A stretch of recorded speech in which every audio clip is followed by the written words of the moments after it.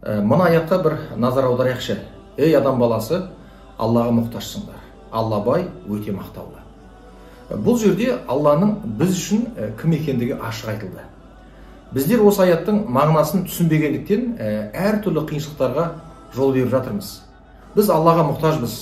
Алла бізге керек. Тыныс алып демімізді шығаруымыз үшін де біз аллаға оның қолдауына мұқтажбыз.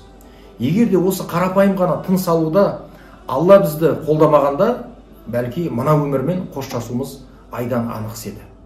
Ал ішіп жеген тамағымызды бойымызға сіңіріп қажетін шығара алмасақ не істей алар едік? Қарап отырсақ бұның бәрі алланың құдіретімен. Демек шынайы күш қуат иесі алла.